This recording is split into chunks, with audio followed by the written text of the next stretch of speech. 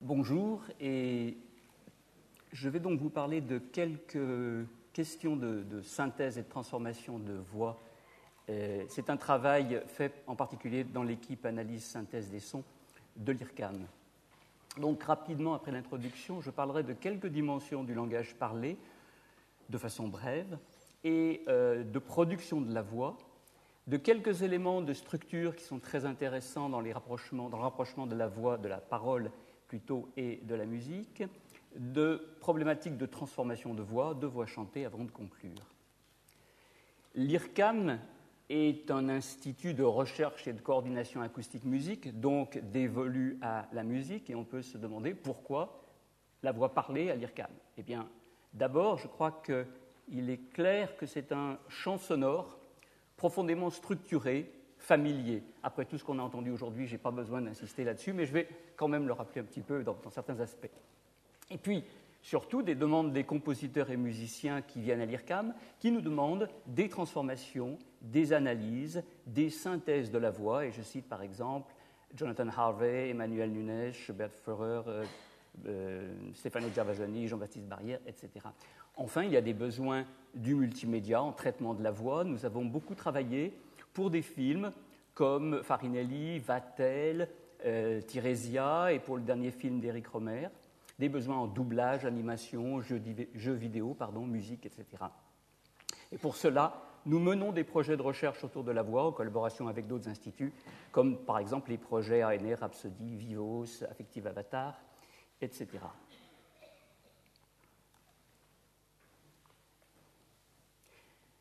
là, je veux vous faire entendre euh, quelque chose, donc je vais demander qu'on coupe les, micros, euh, moins celui-ci essentiellement ou les autres. et en fait, je vais utiliser le micro qui est là. si le son est branché, vous devez m'entendre. Non. Alors, on va trouver pourquoi. C'est probablement parce que moi, j'ai mis le son au minimum. Si je le mets là, vous m'entendez à peu près. L'idée est que euh, parmi les transformations de voix, il y en a qui sont plus ou moins spectaculaires. Là, vous pourriez croire qu'il est arrivé quelque chose à ma voix. Heureusement, c'est pas trop grave, car euh, normalement, j'arrive à revenir à ma voix naturelle. Euh, heureusement, donc, la voici. Alors, ce petit jeu pour vous montrer des possibilités de traitement de ce qu'on peut faire aujourd'hui, maladroitement. Je ne suis pas un acteur, ce n'était pas une performance préparée, enfin un tout petit peu préparée de ma part, mais fort, maladroitement. Mais vous montrer ce qu'on peut faire.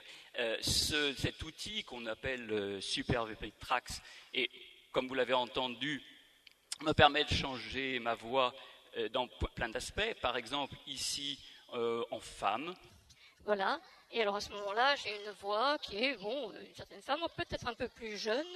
Euh, euh, et voilà. Et donc on peut ajuster les paramètres assez finement euh, dans un sens ou bien dans l'autre, ou bien si je reviens à ma voix habituelle, la rendre plus vieille et plus impressionnante que ma stature ne me permet d'ordinaire. Voilà, je, finis avec ça, j'enlève cet instrument et merci à la technique de permettre de revenir. À... Qui sera plus confortable pour vous surtout, moi aussi. Voilà, donc déjà vous avez une petite idée de ce qu'on peut offrir et ce qu'on cherche à offrir aux musiciens et aux compositeurs, de nouveaux moyens pour qu'ils puissent exprimer euh, leurs euh, envies musicales et qui, est à les précéder, c'est-à-dire que ce n'est pas seulement une réponse, c'est aussi des propositions de choses qu'ils ne pouvaient même peut-être pas imaginer, tout au moins du point de vue technologique, bien sûr. Alors, parlons du langage, du langage parlé, et un petit peu de ses dimensions, très simplement. Il y a ici des spécialistes, mais je vais le faire, donc je vais le faire de façon très schématique pour, pour certains, trouvons ça schématique, mais j'ai besoin de ces éléments, il me semble qu'ils sont importants. Il y a l'énoncé, explicitement ambigu qui montre bien l'influence du contexte, de la pragmatique par exemple, les catégories et relations dans la phrase, donc on voit apparaître des éléments de structure, ce qu'on appelle les phonèmes qui sont ces symboles de réalisation des mots enchaînés, euh, leur réalisation acoustique qu'on appelle les phônes, donc une suite des phônes, et finalement le signal de parole que vous voyez en bas. L'écran est un peu plus petit que prévu, mais ce n'est pas grave, on le voit quand même. J'espère qu'on n'en manquera pas trop. Euh, quelque chose qui n'apparaissait pas là, c'est l'aspect prosodique, c'est-à-dire les différentes façons de prononcer la même phrase. Je pense que c'est clair, je peux prononcer la même phrase, je peux prononcer la même phrase, je peux prononcer, etc. Toutes ces, façons prosodiques, donc de différentes prosodies, pour un même, un même contenu phonétique, dont les composantes principales sont l'intonation, le rythme et l'accentuation, et qui résultent de l'interaction entre plusieurs niveaux, les niveaux sémantiques et pragmatiques dont j'ai parlé, bien sûr le niveau syntaxique, pardon, les contraintes rythmiques, les équilibres des intervalles entre les accents, etc. Alors, c'est un élément très important qu'il nous faut maîtriser, et donc on fait des analyses notamment de prosodie, où ici je vous montre quelques résultats d'analyse automatique de proéminence et de durée. En prenant un corpus de référence d'environ 7000 syllabes, on cherche à obtenir automatiquement les proéminences, et grâce à des descripteurs de proéminence du type fréquence fondamentale et débit que nous voyons ici sur une phrase, et un apprentissage par un modèle multigaussien, là on est dans la technologie de l'apprentissage automatique par machine, on obtient 89% de bonne détection, ce qui est en fait un, taux très élevé, car on s'aperçoit que même les spécialistes, forcément, ne sont pas tout à fait d'accord sur le placement de toutes les proéminences. Je vous fais entendre la, la voix en question. Ça, je ne sais pas du mais on va, je crois que ça va se passer quand je vais jouer. Les deux camions se sont heurtés de face. Vous entendez la hauteur qui monte à la fin des deux camions et qui baisse à la fin de la phrase, et le débit qui ralentit, qui allonge la, ce dernier élément, et ainsi de suite à la fin. De la même façon, nous faisons des modèles de durée, modèles par exemple de durée intrinsèque des syllabes, modulés par les variations de débit local, ce qui permet une bien meilleure représentation. Enfin, l'aspect acoustique. L'acoustique de la parole va être caractérisée par de nombreux éléments que j'ai schématisés, que j'ai simplifiés ici. La fréquence fondamentale, que nous appelons F0, la hauteur entendue de la voix. C'est un moyen de supprimer ça. Comme ça. Je le remettrai quand il faudra. Euh, l'enveloppe spectrale et sa variation. Alors j'insiste beaucoup sur l'aspect variation. la parole les gens le savent, mais bon, j'insiste, ce n'est pas quelque chose de statique, c'est toujours un mouvement qui va donner un timbre. L'enveloppe spectrale d'une voyelle, par, exemple, pourra donner une couleur, et une, consonne va être essentiellement un... Non, moyen d'enlever ça. la consonne va être un geste, une forme spectrotemporale, et enfin il y a une intensité donnée par exemple par la source de glotte et par son spectre. Nous allons regarder ça dans un logiciel de l'IRCAM qui s'appelle Audioscult qui se présente comme ça. Vous avez ici une phrase que je joue. Ah ben, si je ne mets pas le son, je le rejoue.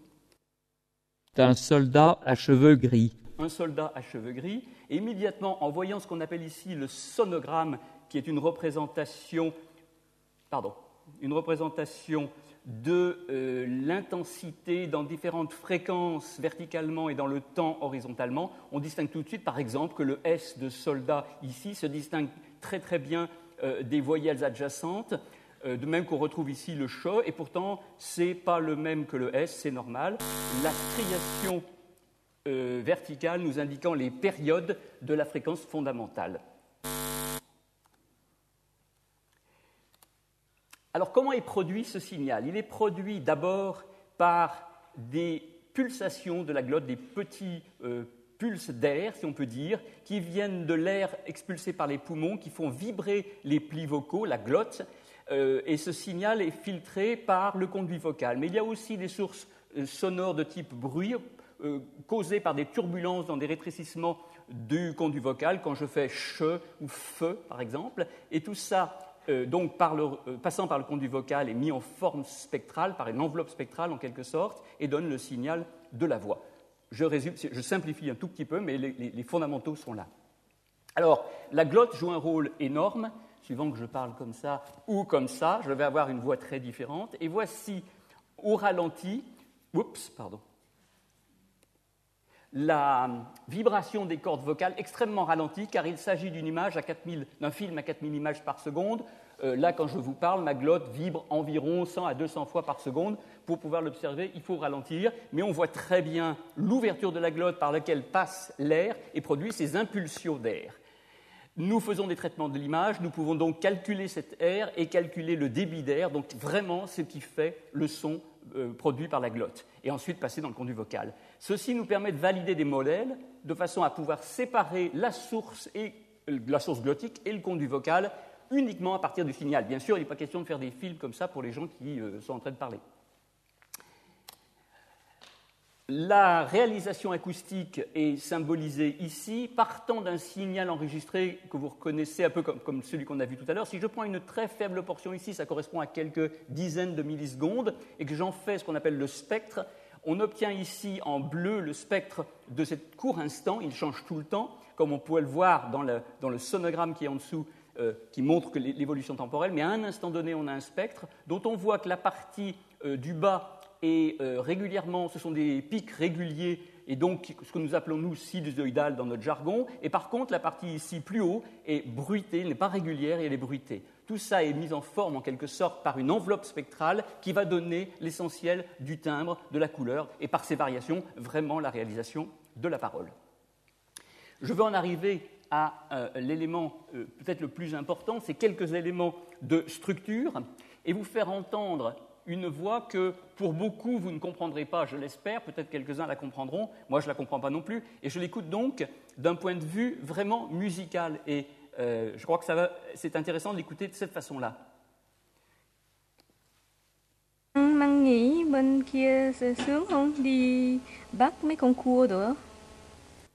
Clairement, pour moi, je pense pour beaucoup, ce n'est pas, compréhensible, mais la musicalité de la voix est évidente par son rythme, par ses hauteurs, etc par l'alternance des bruits et des sons qui ont une hauteur. Alors ici, j'ai fait un, rapprochement qui est extrêmement approximatif et qui est critiquable. Et, vous allez le critiquer certainement. Ça, ça, ne prétend pas être quelque chose d'exact, loin de là. Mais c'est très suggestif et explique tout l'intérêt qu'il y a à regarder musique et paroles ensemble. J'aime partir euh, du niveau à peu près de la syllabe, qui pour moi est à peu près l'équivalent d'une note. Il y a une attaque, une forme principale portée par la voyelle et une continuation éventuelle. Euh, un peu comme la note. Mais si on remonte, un, mot constitué de syllabes est un peu un motif musical. C'est encore très approximatif. Il y a des accents, bien sûr. Il y a une certaine syntaxe euh, dans, la phrase, c'est clair, mais dans la, dans la, musique aussi. Les musiciens en parleraient très bien. Il y a des phrases, il y a des paragraphes ou des sections, des mouvements, etc. Et si on part dans l'autre sens, les choses sont un petit peu plus compliquées. Euh, le faune va être un peu le timbre d'une note, mais déjà c'est un peu faux. La prosodie, l'expressivité vont se traduire de façon très libre dans la parole par des variations de la hauteur, des durées, des intensités, très libre dans un cadre donné, mais malgré tout extrêmement libre, c'est tout l'effet de la prosodie, alors que l'interprétation musicale va être beaucoup plus contrainte, avec des hauteurs précises et des durées précises, autour desquelles on est autorisé à faire certaines variations, si je peux dire. Pour étudier ça, nous avons bâti un, outil, un ensemble d'outils en fait qu'on appelle IRCAM Corpus Tools, qui va euh, reposer sur, des bases de données de nombreux corpus d'unités de parole avec leurs analyses. Unités parce qu'il faut étudier donc tous ces termes de structure dont je parlais, les phonèmes, les syllabes, euh, les accents, les groupes, etc., qu'on obtient en prenant des enregistrements, en, faisant les analyses acoustiques, prodosiques et syntaxiques y compris en tenant compte du texte orthographique transformé en chaîne phonétique, en segmentant donc ces unités grâce au, logiciel IRCAM et en, baptisant ces données. Nous avons ainsi plusieurs voix, des voix chantées, des voix expressives, etc. Ensuite, euh, nous disposons d'outils en fait, dans le langage de requête pour appeler ces unités, les traiter, en obtenir des résultats de façon très facile. Il n'y a rien de révolutionnaire là-dedans. Ce qui est intéressant, c'est la facilité de l'outil qui permet d'obtenir euh, en, une ligne ou deux des résultats très intéressants. Il y a même une interface graphique utilisateur. Alors qu'est-ce qu'on fait avec ça? Eh bien, par exemple, de la synthèse, des études de prosodie, des études d'expressivité, d'identité et même euh, de, la musique avec l'outil Qatar de Dimo Schwartz à l'IRCAM, dont je ne parlerai pas aujourd'hui. Synthèse de parole, l'une des techniques les plus en vogue et les plus efficaces, c'est d'aller chercher quelques-unes de ces unités pour reconstituer la parole en les réassemblant. Il faut les choisir très bien pour qu'elles se réassemblent bien, il faut faire un peu de travail dessus. C'est une, technique à la fois compliquée par la difficulté de choisir les bonnes unités et un peu simpliste en même temps, mais qui aujourd'hui donne les meilleurs résultats. Voici des exemples avec une voix que vous allez reconnaître parce que c'est la mienne, mais c'est une phrase que j'ai jamais prononcée. Je peux vous le, le mon chien est mort dans un accident. Excusez-moi, c'est un petit peu fort. On peut mettre un peu moins fort, merci. Alors ça, c'était avec ma voix. Je le rejoue peut-être. Mon chien est mort dans un accident. Et euh, je vous dois dire que la première fois que mes étudiants m'ont donné ça, j'ai cru qu'ils s'étaient trompés. Je leur ai dit non, non, non, ça c'est ma voix naturelle. J'ai regardé, j'étais sûr que c'était ma voix naturelle, mais ils m'ont prouvé que je ne l'avais jamais dite et que c'était vrai. Euh, par contre, ici, on va faire de la synthèse avec ce qu'on appelle des rushs, c'est-à-dire c'est un, comédien qui a fait des enregistrements pour une série télévision, on a récupéré les rushs et récupéré et essayé de faire la synthèse avec, avec ça. C'est plus difficile parce que, bien sûr, l'enregistrement n'est pas fait pour la synthèse. Et ça donne quand même quelque chose d'intéressant, en particulier la, caractéristique euh, de timbre et d'élocution de l'acteur qui est parfaitement conservée. Vous vous en rendrez compte. Il y a quelques défauts dus à la difficulté de choisir des enregistrements qui ne sont pas faits pour ça. C'est une fois une petite fille de village, la plus jolie qu'on eût su voir, et sa mère en était folle, et sa mère grand plus folle encore.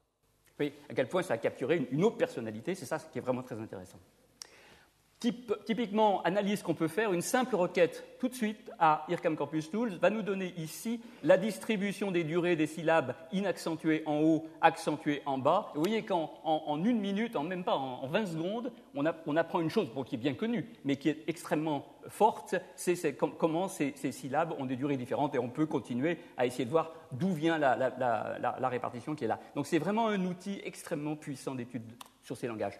Autre exemple, on prend une phrase comme celle-ci. C'était le même nom que la personne qui avait signé cet article. voici là les durées des syllabes exprimées en, secondes et les hauteurs des syllabes. Et vous voyez que la structure de la phrase apparaît d'elle-même dans ces deux euh, paramètres. Euh, c'est le même nom, c'était le même nom que la personne euh, qui avait signé cet article. De même, c'était le même nom avec montée de la hauteur ici et puis chute finale.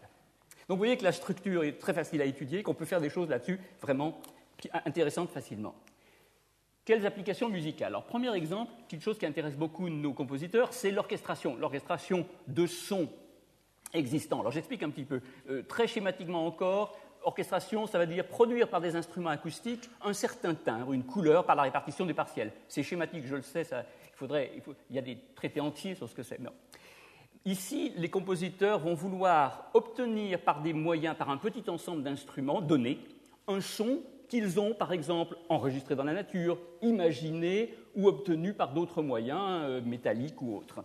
Donc ils ont un certain échantillon sonore, ils disent comment je pourrais le représenter par des instruments, le faire par des instruments. Ils savent faire, mais ils sont très intéressés à avoir aussi des moyens qui leur permettent de le faire automatiquement, notamment parce que l'éventail des solutions est immense et les solutions proposées par l'ordinateur souvent sont inattendues pour eux et leur donnent des idées qu'ils n'avaient pas forcément trouvées. Et donc ça, c'est vraiment intéressant pour eux. C'est un problème combinatoire gigantesque. Si le problème était simple, enfin, en tant que recherche, c'est simple, mais la combinatoire est tellement gigantesque qu'il n'est pas question de le faire simplement. Il faut des, des, procédures très accélérées, très optimisées pour arriver à le faire dans un temps même raisonnable. Un exemple, un basson imité par un ensemble trompette basse, tuba, French horn. Ou une clarinette imitée par flûte, trompette et tuba basse. Alors, les imitations ne sont pas toujours parfaites, loin de là, mais le, programme propose des solutions et le compositeur va dire Ah, celle-ci ou celle-ci m'intéresse. Et voici par exemple, pour le cas de la voix, l'orchestration de voyelles, vous allez entendre les voyelles et leur orchestration suivante. Ah,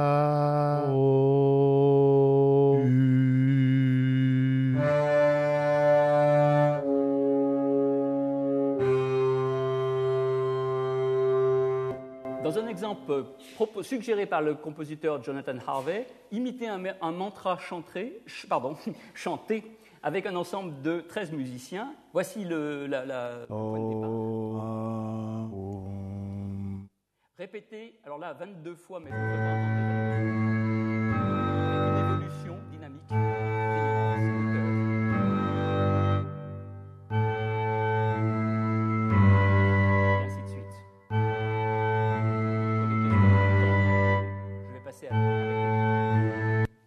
avant la fin, loin de là.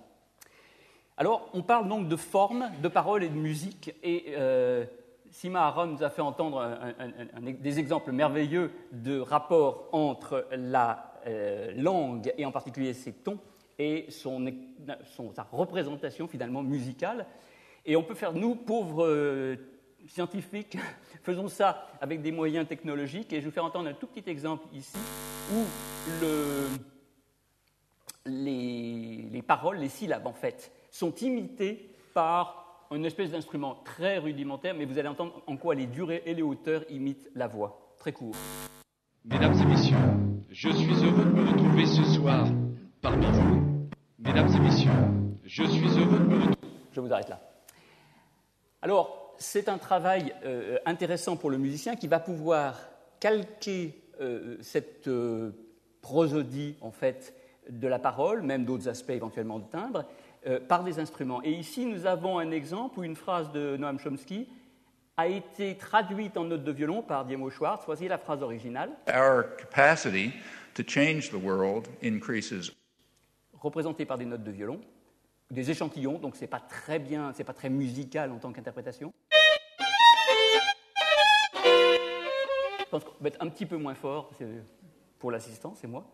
Et alors, c'est plus intéressant encore de l'écouter en stéréo, ensemble. Our capacity to change the world increases. Alors, c'est une forme d'interprétation, mais on sent bien le rapport. On peut faire ça avec d'autres phrases que j'ai ici euh, fait figurer. C'est un travail de Nicolas Aubin, en jouant donc sur la hauteur et les durées des syllabes, en les jouant par des notes, et dans ce cas-là, avec des notes de synthèse. Je vais plutôt vous faire entendre euh, Lucchini. S'il y a vraiment une demande à la fin, on pourra peut-être. Euh, en stéréo, donc, Lucchini et une espèce d'interprétation d'instruments, là aussi très rudimentaire. Vous allez voir ce qu'on peut faire après, libre à l'imagination du musicien de s'appliquer. Leur identité, c'est d'être Jean du vide. Il fait du vide un acte, un verbe. Jean devient une identité universelle du vide. Voilà. Euh, maintenant, je voudrais vous parler de transformation de voix, un travail d'Axel Robel et de Snorre Farner, entre autres, qui trouve des applications notamment dans des films. Nous avons travaillé pour euh, des films, je disais, de Romer, de Bertrand Bonello, de Roland Joffé, et des musiques de Barrière, de Gervasoni et d'autres. Euh, transformation, la première euh, homme, femme, enfant, vous avez entendu un exemple tout à l'heure, mais on en verra d'autres. Et puis transformation de type et de nature de voix. Et enfin des exemples d'application. Transformation de voix et de femme en homme dans le film Tirésia de Bert- Bertrand Bonello, si je ne dis pas de bêtises.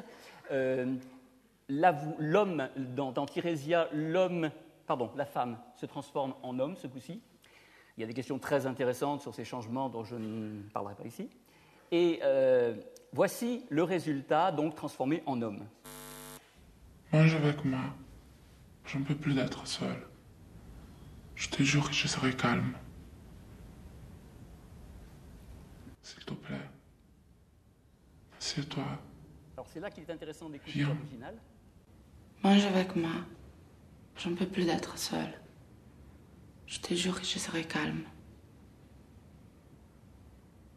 S'il te plaît. Vous voyez comment toute la euh, euh, qualité et la particularité de la voix de cette femme est, est conservée vers l'homme. Et on peut euh, faire n'importe quel type de transformation, n'importe quelle, je dirais, quantité de transformation. Ici, je me situe à peu près au milieu, Mange avec moi. très ambigu. J'en peux plus d'être seule. Homme, femme. Je te jure que je serai calme.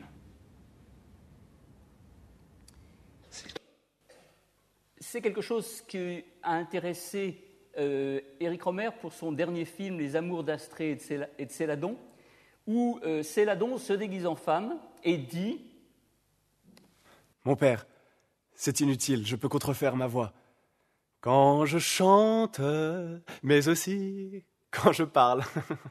Mais en fait, il ne peut pas. Alors, euh, euh, le- Éric Romer nous a demandé de, de le faire par ordinateur et il craignait beaucoup euh, des défauts, des effets de ridicule, qui est très euh, compréhensible, euh, d'abord par la fragilité de la réussite artistique et aussi parce que si on met une femme pour le faire parler, bah, s'il fa- s'il parle comme une femme, c'est pas la peine, il n'y a qu'à enregistrer une femme et puis tout le monde est content, mais ça serait ridicule. On verra bien que ça, ne colle pas. Donc il s'agit de trouver l'endroit parfaitement bien placé d'après la scène qui va, donner le rendu artistique que souhaite le réalisateur, Eric Romer, dans ce cas-là. Et voilà son choix. On, on- on entend bien la voix du comédien et on sent bien qu'il y a quelque chose qui a changé. Mon père, c'est inutile, je peux contrefaire ma voix. Quand je chante, mais aussi quand je parle. C'est pas vraiment tout à fait une femme. On peut le faire, mais ça serait probablement ridicule dans la situation dans le film. Voilà un exemple.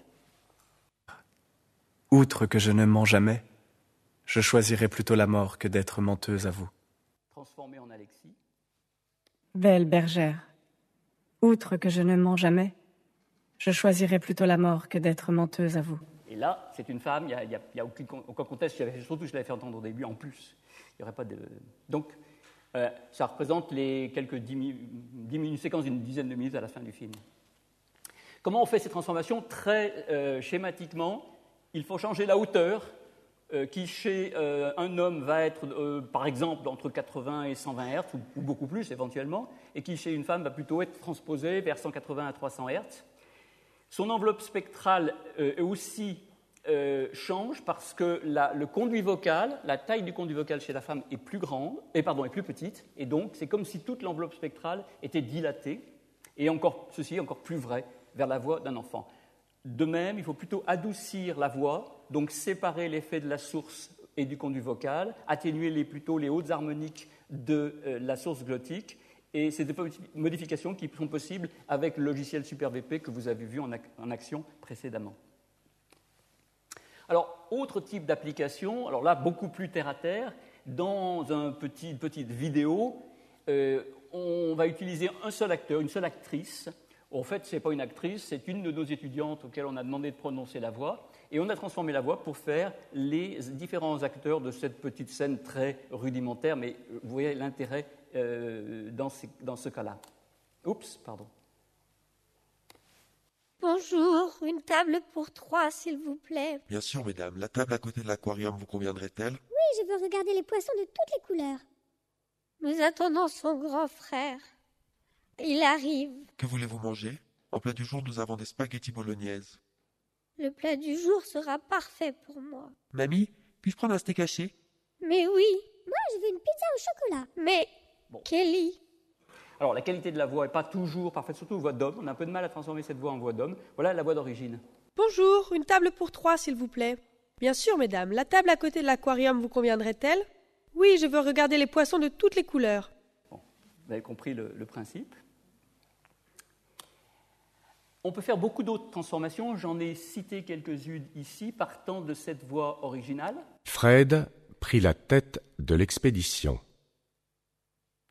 Est-ce qu'on peut mettre un petit peu moins fort peut-être? Je crois que c'est un peu trop fort, merci. Euh, avec un peu de souffle dans la voix. Alfred prit la tête de l'expédition. Carrément chuchoté. Alfred prit la tête de l'expédition. Avec euh, quel, un grain creaky euh, dans la voix. Alfred prit la tête de l'expédition. Un peu plus douce, c'est pas très doux. Alfred prit la tête de l'expédition. Tremblante. Alfred prit la tête de l'expédition. Et là, très impressionnant comme, comment la, la, voix peut être beaucoup plus plate. Alfred prit la tête de l'expédition. Ou au contraire, vivante. Alfred prit la tête de l'expédition. Et enfin, ivre. Je ne suis pas sûr que ce soit vraiment l'ivresse, mais ça donne un peu. Alfred prit la tête de l'expédition. On peut faire peut-être une meilleure ivresse, mais ça nécessite peut-être plus d'alcool, je ne sais pas. Alors, c'est des choses qui intéressent donc euh, pas mal de compositeurs. Et là, euh, un, une espèce d'installation d'œuvres euh, mi-théâtrales, mi-musicales de Jean-Baptiste Barrière, qui s'appelle Deux songes de Metterlink d'après Bruegel, où un acteur parle et sa voix est transformée dans les douze personnages, hommes, femmes, âgés, jeunes, du, donc des, du songe ou de, ou de l'œuvre. Et euh, l'enregistrement est assez faible, donc si on peut monter le niveau, merci. C'est un, un court extrait. Vous l'entendez à travers leur prière? Oui. J'entends quelque chose qui n'est pas loin de nous. Elle était endormie. On dirait qu'elle s'éveille. Il a eu tort de nous mener ici. Je n'aime pas entendre ce bruit. Donc voilà quelques idées de cette œuvre. Autre problème, qu'est-ce qui fait l'identité Enfin, comment transformer l'identité? Ma voix est reconnaissable, la voix de quelqu'un d'autre, on les reconnaît, à, on reconnaît probablement des dizaines et des dizaines de voix différentes très rapidement. Comment transformer l'identité? Euh, C'est-à-dire, ayant un locuteur source, le transformer pour que perceptivement on pense qu'on est proche ou qu'on est carrément arrivé à un locuteur cible. La technique qu'on utilise, c'est de prendre des enregistrements euh, dans un corpus d'entraînement de la voix source et de la voix cible, d'en faire un alignement temporel, de sélectionner les données qui sont fiables, d'en faire un modèle statistique par une technique dite mélange de Gaussien. Et euh, ça, c'est fait plus, précisément sur les, analyses sur les paramètres d'analyse du locuteur dont j'ai parlé, fréquence fondamentale, enveloppe spectrale, etc. Et ce modèle va être utilisé, ou plus exactement à la régression linéaire du modèle de la voie source vers la voie cible, au moment de la transformation, en partant d'une phrase de la source à transformer, de la voie source à transformer, avec ses paramètres, changer les paramètres, refaire la synthèse et obtenir la voie transformée. Voici des exemples, et là, nous n'avons joué que sur le timbre, pas sur la prosodie. On peut le faire aussi, il faut arriver maintenant à faire tout en même temps. Là, je vais faire entendre que le timbre. Voici trois timbres, la, voix avec trois timbres différents. Il arrive demain d'Italie par la route. Il arrive demain d'Italie par la route. Il arrive demain d'Italie par la route. Alors, si, vous avez peut-être entendu que le premier a un accent un peu hispanique. Il se garantira du froid avec un bon capuchon. Le deuxième a un accent un peu québécois. Mon cousin a été très vexé par ce qu'elle a dit. Et enfin, Jean Cocteau reconnaissable. Rostand fut porté sur ce siège par des faits rapides. Rostand. Pardon. Et la voix d'origine, c'était la mienne. Il arrive demain d'Italie par la route. J'en ai un autre exemple ici. Euh, si on me transforme, bon, pour prendre juste le début. Le caractère de cette femme est moins calme. Le caractère de cette femme est, le caractère de cette femme est moins. Le caractère de cette femme est moins calme. Bien, vous voyez comment euh, le, programme capture une partie. On n'est pas tout à fait au bout, c'est clair. Il y a encore des difficultés, mais on a déjà capturé pas mal du caractère de la, du caractère de la voix, c'est le cas de le dire. Autre aspect, mais après l'identité, l'expressivité. Ce que nous entendons par expressivité, c'est tous ces aspects d'émotion, d'affect, d'intention, etc., qu'on trouve, qu'on entend très bien dans la voix et qui ont beaucoup d'importance, parfois peut-être plus que le sens euh, tel quel.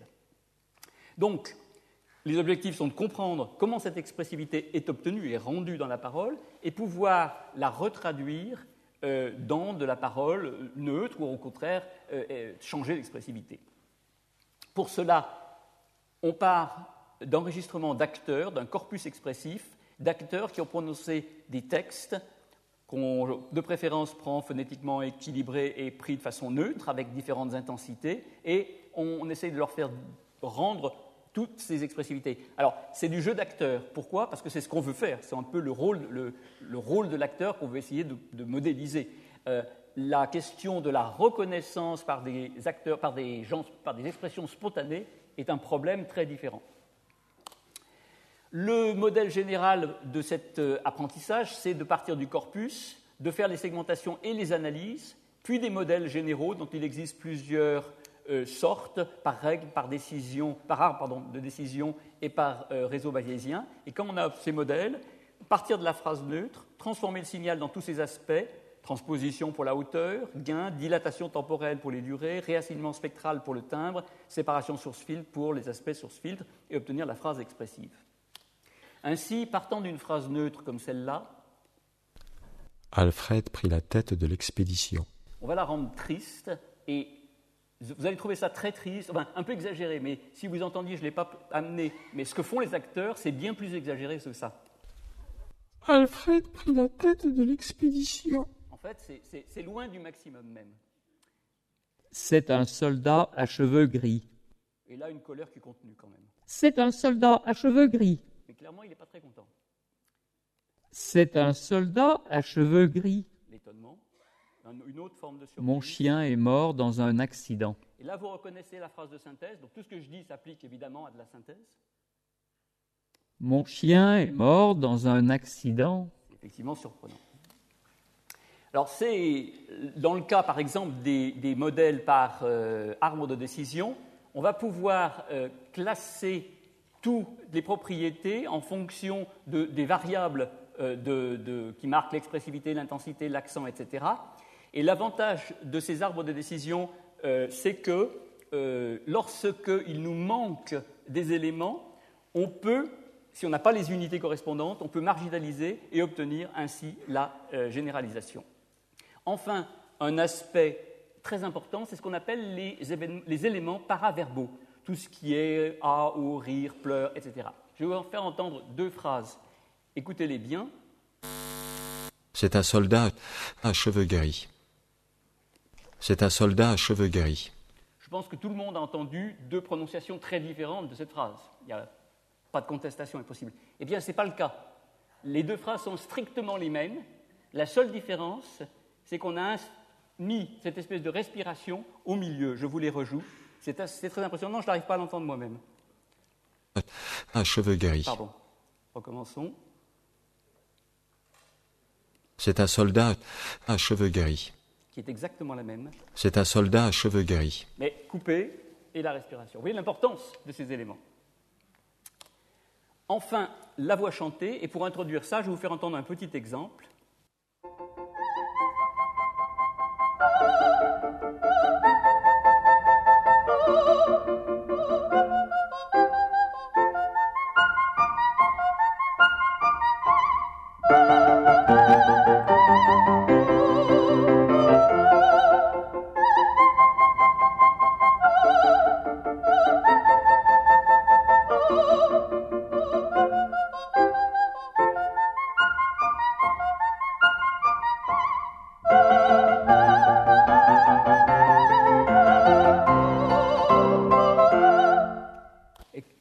Ceux qui ont entendu cet exemple depuis longtemps, car c'est en fait c'est un vieil exemple de synthèse que nous avions fait il y a pas mal d'années, euh, de la donc de l'ère de la reine de la nuit, et c'est purement de la synthèse. On a donné au programme la partition et quelques règles qu'il faut chanter comme ça, et voilà le résultat. C'est toujours, toujours étonnant quand on écoute, surtout si on ne sait pas que je fais de la synthèse. Je vais vous faire entendre d'autres choses, mais comme le temps passe, euh, parler plus euh, très rapidement des techniques. On peut aussi faire cette sélection d'unités, rassembler des éléments et faire chanter. Mais je vais passer rapidement, plutôt aller euh, sur les utilisations euh, par un compositeur dans un opéra imaginaire, Joshua Feinberg, qui voulait rendre la folie en quelque sorte du, narrateur dans Lolita, le fait chanter. c'est son interprétation d'un chanteur qui ne sait pas chanter. Ce n'est pas un chanteur, c'est un écrivain. Et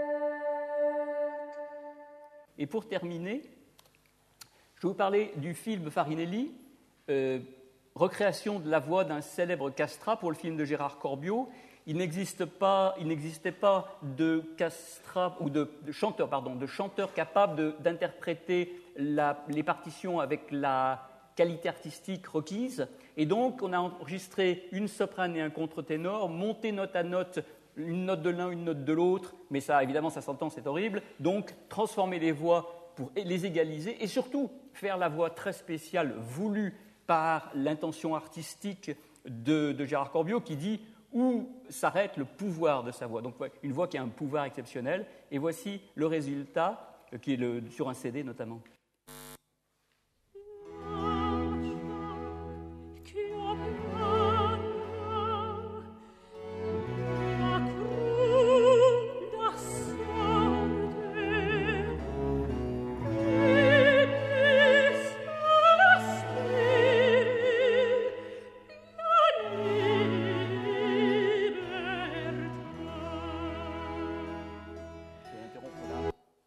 Questions de temps, malheureusement.